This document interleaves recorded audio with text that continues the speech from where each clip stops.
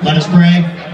As this football season begins to wind down, we express our thankfulness for these games of sport, which have afforded us the opportunity to set aside the cares of our lives and our weeks and become absorbed in first downs and pass completions and solo tackles.